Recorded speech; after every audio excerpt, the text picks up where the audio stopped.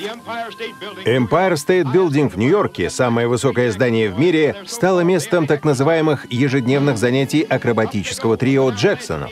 А вот и они, забравшиеся на перила балкона 86 этажа, всего лишь в одной тысячи и 50 футах над городской улицей.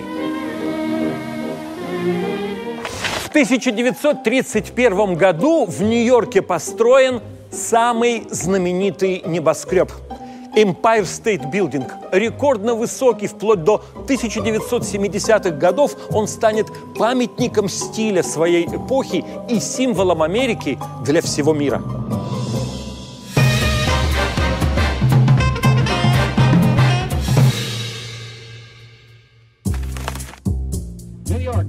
Футуристический силуэт центрального Нью-Йорка, полный возвышающихся шпилей, пополнил самый большой старший брат — это устремленный ввысь на четверть мили 102-этажный Empire State Building.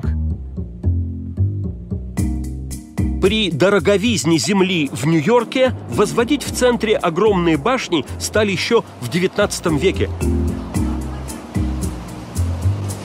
В 1930 году это еще и борьба честолюбий – в новом здании на Олл-стрит 40 рекордный 71 этаж, 283 метра. Но в том же году закончен небоскреб Крайслер.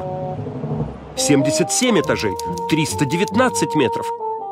Тогда застройщик Empire State Джон Раскоп на ходу повышает первоначальный проект с 85 этажей до 102.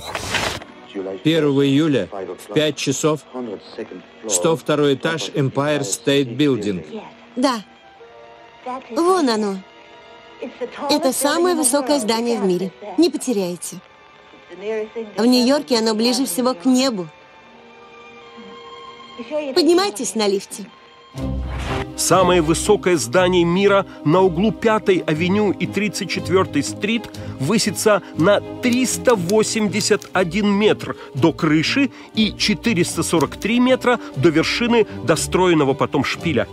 Объект обошелся в немыслимые по тем временам 41 миллион долларов – из-за экономической депрессии большинство офисных площадей поначалу не заполнено, и приносить прибыль он начнет только в 1950-м.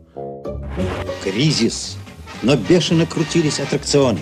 Забыть о кризисе, забыть о безработице, забыть о страшных цифрах.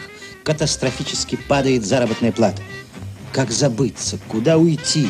На крышу небоскреба? В СССР отношение к небоскребам поначалу отрицательное. Они монстры бездуховного Нью-Йорка, города желтого дьявола и железного Миргорода. Но уже авторы главной советской довоенной книги про заокеанскую жизнь восхитятся Empire State.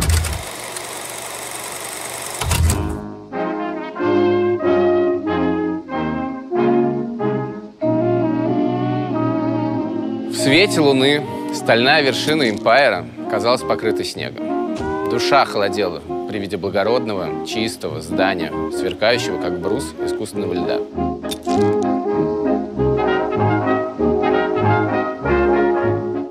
Мы долго стояли здесь, молча задрав головы.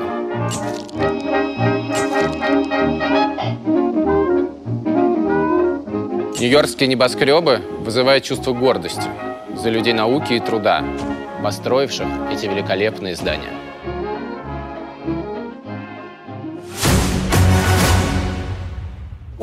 Empire State Building сразу становится эмблемой Нью-Йорка и США.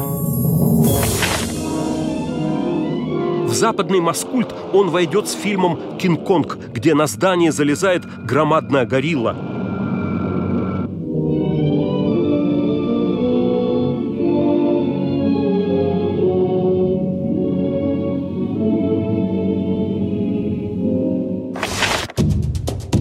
демонстрируя превосходство социализма над капитализмом, в том же 1931 в СССР утверждают проект циклопического Дворца Советов выше Empire State. Принять проект архитектора Яфана в основу проекта Дворца Советов.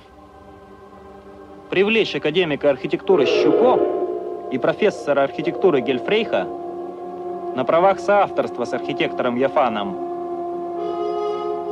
верхнюю часть Дворца Советов завершить мощной скульптурой Ленина с тем, чтобы Дворец Советов представлял вид пьедестала для фигуры Ленина. Но стройку не осилят, и лишь после войны семь московских высоток воплотят сталинскую мечту о советских небоскребах. Во многих районах столицы воздвинуты новые высотные здания. На Дорогомиловской набережной заканчивается строительство гостиницы на тысячу номеров. Высотное здание гостиницы сооружено и на Комсомольской площади. На площади Восстания завершается облицовка 25-этажного жилого дома. Дворец науки – новое здание Московского университета на Ленинских горах. Высотный дом у Красных ворот заселяется. В доме на Котельнической набережной москвичи уже получили около 400 квартир. Административное здание на Смоленской площади высотой 170 метров. В нем разместились государственные учреждения. Рекорд Empire State Building побьют нью-йоркские башни-близнецы Всемирного торгового центра в 1972 году, а потом состязание в небоскребности переместится в Азию.